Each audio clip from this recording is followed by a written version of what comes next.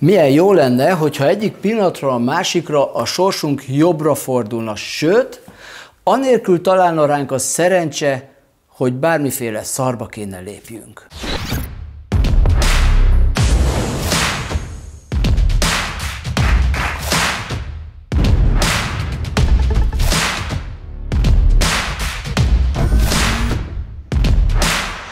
Ha van valami, amit nem taszítunk el soha magunktól, legyél szegény vagy gazdag, vesztes vagy sikeres, szerelemtől szenvedő vagy boldog, az a szerencse. Egy olyan megoldás, ami nem kerül semmibe, de mindent hoz.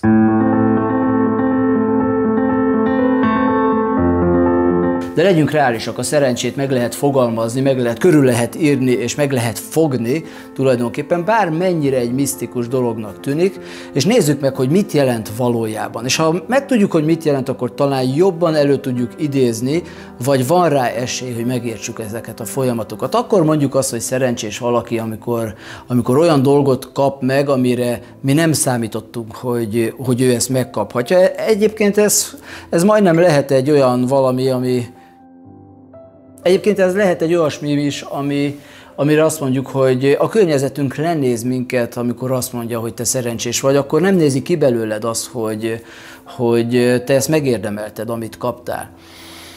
Lehetséges ilyen, tehát van az, hogy, hogy te nem értesz semmihez, mégis a nyakadba zúdul a siker, és amikor ezt elveszted, ezt pénzt, mondjuk a pénzt, akkor, akkor lehet, hogy nem tudod megismételni ugyanezt a bravúrt, akkor lehet azt mondani, hogy, hogy neked szerencséd volt, és nem érdemelted meg.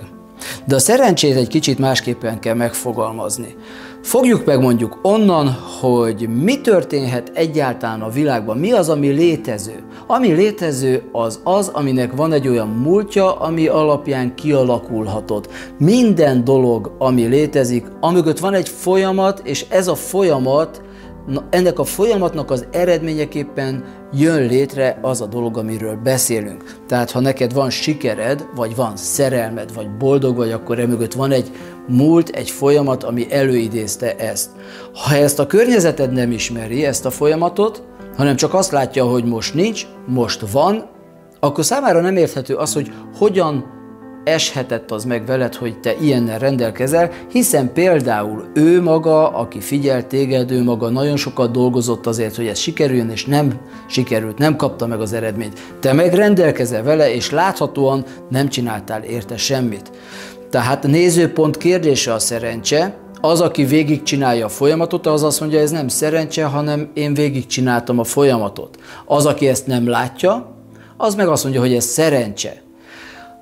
Az is igaz, hogy amikor csinálok valamit, akkor azt mondom, hogy na ez sikerült, de csak a szerencsém múlott, mert nem ismertem a megoldást. Nem tudtam, hogy hogy kell ezt megoldani egyáltalán, mit kell lépnem ahhoz, hogy eredményem legyen, de mégis megkaptam az eredményt, és szerencsém van, hogy ez így történt.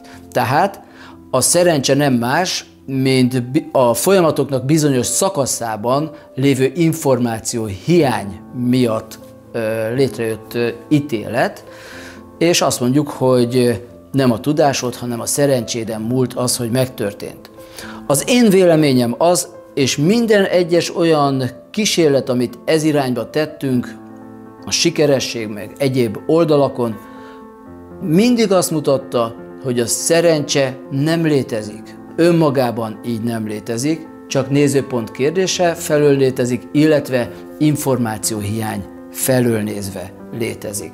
A szerencsét én úgy fogalmaznám inkább meg, hogy az egy perspektívikus véletlen. Tehát egy, egy olyan esemény, amikor csinálsz valamit, nem tudod pontosan, hogy mit kell csinálni, de ahogy megcsináltad, annak van több folytatási lehetősége, tehát van perspektívája, hogy majd mi történhet, és, és a valamelyik meg fog történni, számodra véletlenszerű, mert nem ismered az utat. Ha innen nézzük, hogy nincs szerencse, ebben az esetben ez azt jelenti, hogy reprodukálható ez a folyamat. Tehát, ha megtudjuk, hogy a szerencse szakasza mögött mi volt, akkor azt megtanulhatjuk, és, és újból lejárhatjuk azt az utat, tehát megkaphatjuk az eredményt. Ha viszont úgy döntesz, hogy szerencse már pedig létezik, akkor bajban vagy, mert akkor nem fogod soha megtalálni azt a szakaszt, ami alapján felépítheted ezt az utat, ami alapján elérheted az eredményeket. Én azt állítom, hogy nincs szerencse, van perspektívikus véletlen, van tudás és tudásnak a hiánya. Tehát menjünk el a tudás irányába, és a tudáson keresztül reprodukáljuk a szerencsét. A szemináriumokon tanítok olyan gyakorlatokat, amelyekben nincsen lehetősége, nincsen esélyed arra, hogy, hogy megkapd az eredményeket. Miért jók, jók ezek a gyakorlatok? Azért, mert az élet ilyen, tehát életszerű az, hogy élsz, csinálsz valamit, bármennyire, vagy fel, bármennyire felkészült vagy egy, egy szakmában, vagy bármilyen eseményben vagy folyamatban, akkor is lesznek olyan szakaszok, amihez nem igazán értesz, tehát lesznek olyan fehér foltok, amikben nincs meg a tudásod. Mégis meg kell kapd az eredményeket, tehát az igazán sikeres ember nagy idézőjelben szerencsés, tehát rátalál azokra a megoldásokra, amelyekben nem volt tudása, tehát nem kellett volna megtalálja azt a megoldást. Bebizonyítottuk, hogy mindenféle felkészültség nélkül is bármelyik ember képes arra, hogy rátaláljon ezekre a megoldásokra, illetve a számára szükséges megoldásokra, tehát olyan úton tud haladni, ahol nincs információja, vagy, vagy a sikerhez, vagy az eredményhez kevés információja van.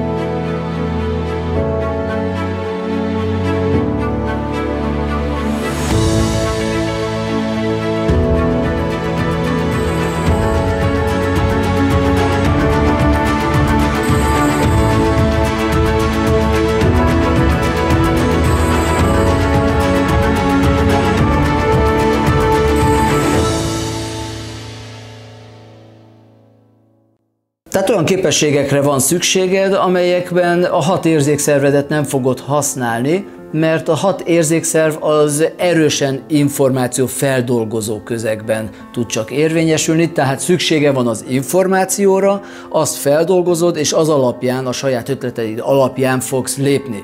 Egy olyan utat mutatok meg, amelyben nem dolgozod fel az információt, a hat érzékszervedet nem használod, hanem valamilyen komplex érzékelésben fogsz részt venni, a szervezeted erre képes, ez a gyakorlatokban abszolút megtapasztalható számodra is, és egy időben keletkezik a, az eredmény azzal, hogy cselekszel, tehát nincs feldolgozási idő. Nincs is mit feldolgozni, mert nincs információ legalábbis a hat érzékszerv számára. Ez egy teljesen más érzékelés, extraszensz érzékelésnek nevezzük, telepatikus képességnek is hívhatjuk. A telepátia az egy nagyon nagy gyűjtőszó, nagyon sok minden ide tartozik, például ezek is ide tartoznak. Tehát extraszensz gyakorlatokat kell végezzél ahhoz, hogy szerencsét tanuljál, van rá lehetőség, a szemináriumokon várlak téged, ha nem tudsz eljutni a szemináriumokra, nem sokára megjelenik az applikáció, az applikációban az online akadémiát tudod követni, az online akadémián sokkal-sokkal több videót megosztok, mint amit most a vlogokban hetente tudok. A legfontosabb természetesen az, hogy gyakorlatban is megkapd a tudást, mostantól elérhetőek a szemináriumok, kinyitottuk ezt a lehetőséget, és rengeteg extrasens gyakorlatot tudsz gyakorolni, tehát tanulhatod a szerencsét, a harmóniát, a boldogságot, ezek megtanulható dolgok, még akkor is, hogyha eddig minket úgy neveltek, hogy ezek valami misztikus valamik. Szóval